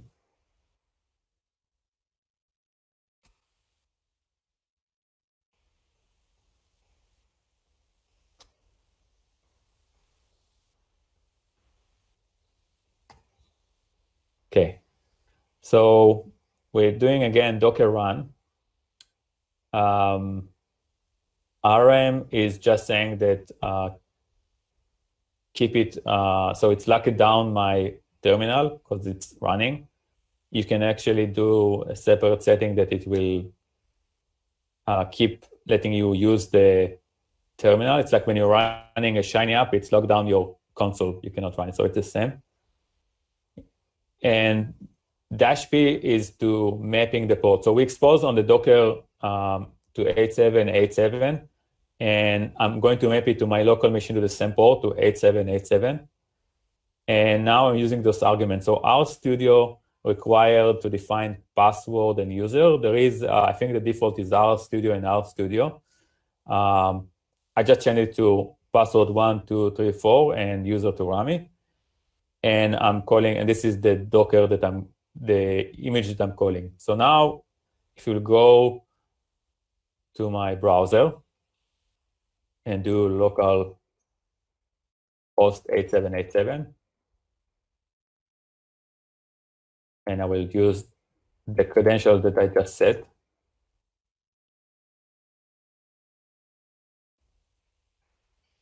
I'm inside R that's running inside Docker. So again, we use version 4 um, we can see that the packages is um, of we installed tidyverse. So let's see, tidyverse is 1.3. So essentially, this is how you you set your environment. And and once you create your Docker with your packages and you're running the code over here, and if you don't get any error, it means that your Docker is ready. And this is the point that you can shift it.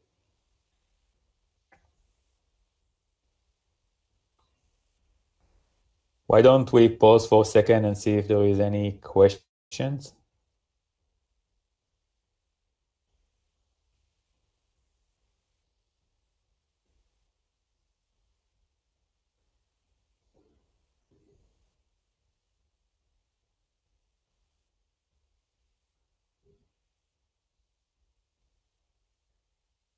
Okay, so we got two more examples. Just bear with me. I think they are fun.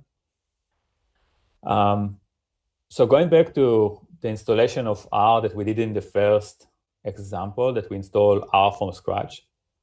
Let's say that you want to use argument and make it much more flexible. So that you want to run a script that the user can define some argument and according to this, you set the Docker. So think about it like you can, if in, in the example I'm going to show, it's like I'm going to make the version of R as argument, but like if you're installing specific packages, you can set the packages um, version and so on. So it's really like up to what you're trying to achieve. So I took the the the Docker file that we ran before to build the R version 4 and you see it's starting again from with pulling Ubuntu. And I add this um, argument, arg argument, which are defining three variables. So the first one is the major, second one is the minor, and the third one is the patch. So those are equivalent to the version of R. And for the environment variable that were set before in the previous R, I defined um, the argument with a default. So if the argument, if the user don't provide uh, any any value for those variables, it's going to use the default, which is 400. So Rami? Uh, Yes. Actually, I have a question about Ubuntu. Can we use Ubuntu 20, the la- latest version of Ubuntu? almost sure that you can. I yeah. Let me find. So I create a link. I didn't.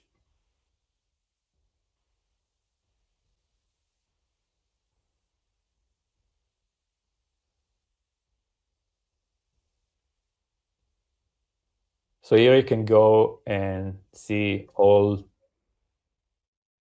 all the versions that are available all the OS. So those are like really the scratch, like the flavors of, of Linux that you can start if you want really to start from scratch. So you have your Ubuntu, and then you can go um, and see the tagging. As far as I, I remember, there is the most recent one. So if you go to tags,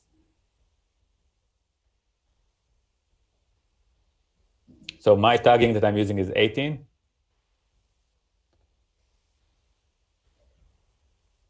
So all of those tags, I guess, are different flavors. Trying to find, yes. You have 2010 and 2004, and this is what I'm using, 1804. So if you have a, a, a preference for the version of the OS, definitely you should have it here. And people are you know, people are doing it like they have automation that every version should be available. And beside Ubuntu, you know, some people prefer different flavors of Linux. So we can Thank go you. back and see. You're welcome. So we have a, a Alpine, which is another flavor, um, Debian, which is probably the main one for R. If you are working in Amazon, so this is Amazon Linux, and Bash, technically Fedora. Uh, you have your essentially like all the flavors that probably exist. Okay, so once we set the argument, um, we can one we, we can build a Docker and use the argument to define the version. So let's first how do I kill it?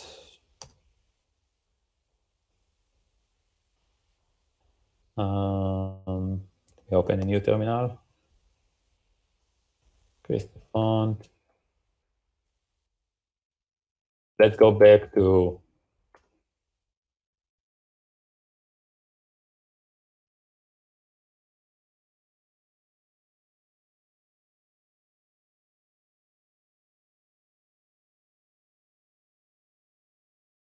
Okay.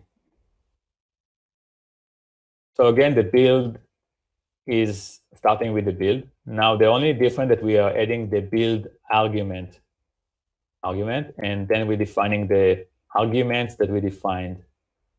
So here, for each argument, you need to add the build argument and specify the argument and the value. So here's the major I defined as three, minor I defined as six, and the patch is two. So essentially, I'm, I'm, I'm installing version 362. Now, so we run it.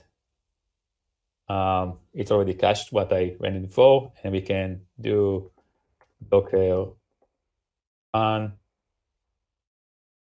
and base uh, b three six two.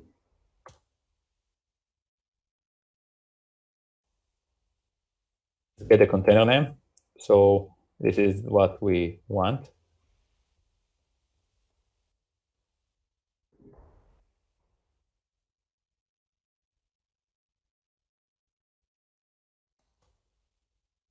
And we have version 362.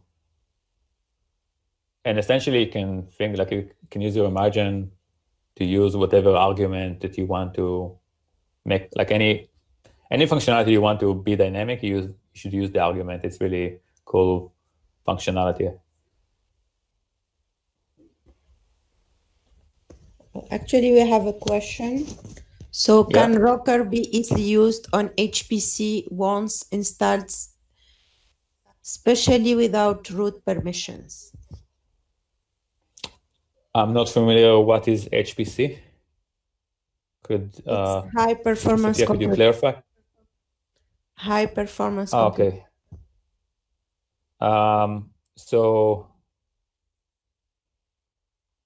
um, so I, I, I guess it depends on the admin. Um, like what is the admin definition? I assuming that it's running on some kind of linear. So Docker is just the image. So if you, uh, the the question is like, what is the Docker engine? So the does the Docker engine has permission to write on HPC or no? This is and this is something that uh, probably I'm not I'm not familiar and probably it's a question to the admin of the system because could be like some firewall that prevent it to run, but uh, there are ways because I'm I'm also working. So when you're working with enterprise version, so it's under a firewall and there is all the you know the security that requirement. Um, so uh, it's a question to the admin, I guess. I don't see a reason it, it, it won't run unless it's really something really that's unique or doesn't support Docker. I sorry, I don't have a good answer for this. So let's put the R over here and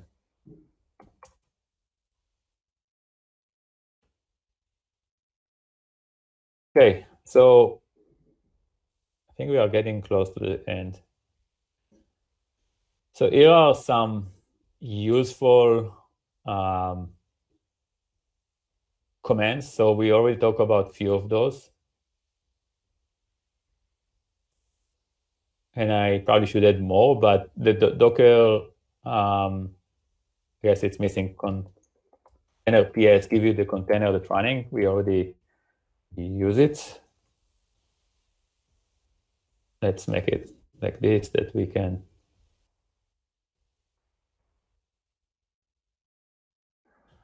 Uh, so Docker container give you the list of containers that are currently running, and then you can do uh, Docker if you want to stop. I, I showed that there is the kill command, which is kind of like very hard command name, uh, but you can do also stop, I guess, uh, and the container ID.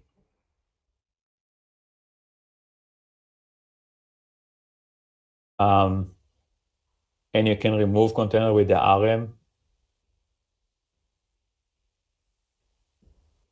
Okay, now, so we stop the, this container from running. If you want to see the images that are available on your environment, so it's Docker images.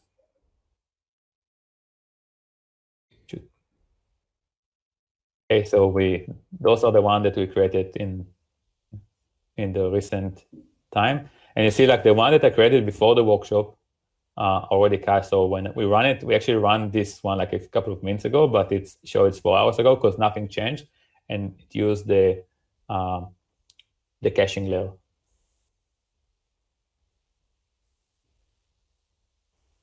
Um, Docker logs. So Docker logs is, is it give you like if you want to access for if you have you're running container and you want to see what's going on in the container, you can use the clear because I cannot see my but the bottom part of my screen.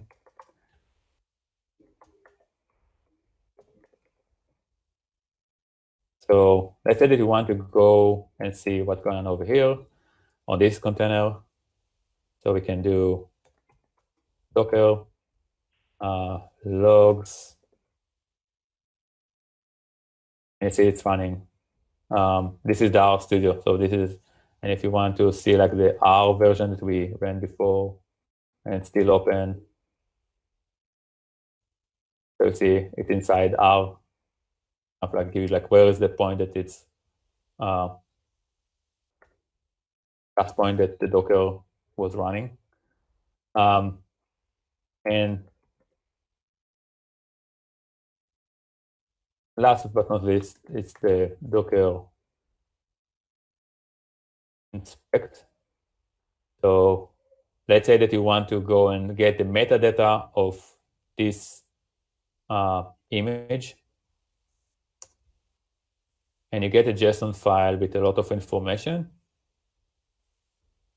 Uh, some of it is probably you don't really care, but if you want to build automation and you want to get some information, for example, you can see like here you can see the environment variables that were defined. Um, the host name, the creation time, and I think there is also a way to see like the layers size. is I guess, more most more interesting. So those are the layers. Um, should be a way to see the here is the size. And here is the OS. So sometimes it, it might be useful information uh, if you go and want to inspect what the system that the Docker is using or, or what is the thing is to use the inspect. Um, let's see, is there any questions?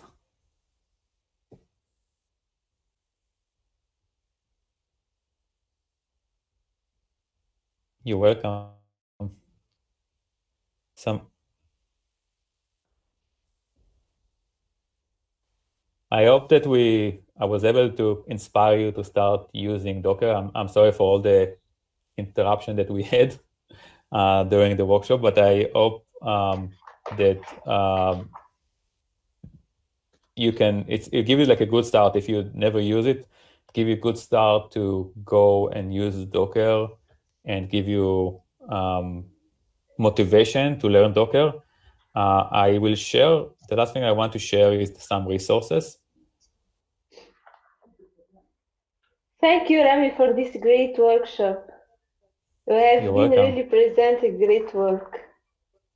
So thank you all also for your attention, and I hope that uh, was uh, useful, and you got uh, clear understanding about uh, Docker. So, Rami, you wanted to present some resources or? Yeah, so here's like this the last point. Um, here are some, so the materials are going to be are already there in this repository. Um, and here is the documentation of Docker, uh, like all the commands, call it.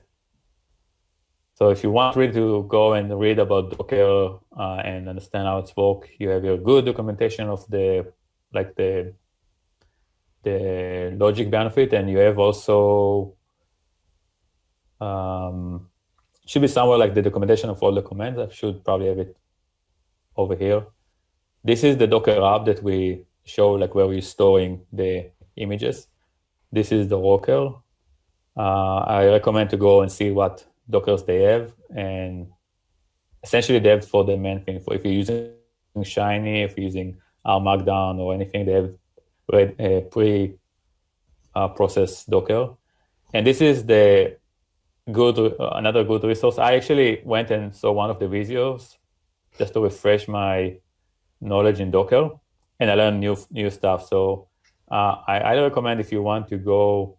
Um, it's it's organized by the, I guess like this is the video that I I saw that give you really good information over like conceptually about Docker, and I recommend to go over it.